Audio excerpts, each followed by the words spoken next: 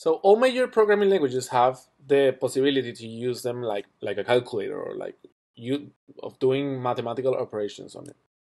The same way you would do in, in math. In math, you would say I a equal to two and b equal to five, and then you can say result or total.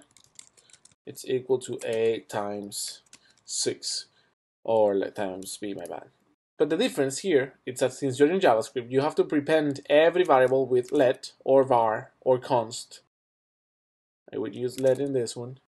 And then you have to put a semicolon at the end of every line. That's basically it. After that, it's just normal multiplication. This is also a variable. I can console log it and you will see that it will give me the result of the multiplication of both. Here it is 10. So this exercise is telling us to multiply 2, 3, blah, blah, blah. So let's do 2, 3, blah, blah, blah with 3, 7, 3, 2, 3. So 7, 3, 2, 2, 3. And then I have to I have to put in a variable called variables are cool. So not total, total. Variables are cool. Here it is. So let's compile it. Oh, I'm still printing total. So it's not going to give us, yeah, I need to print total. So let's run it again.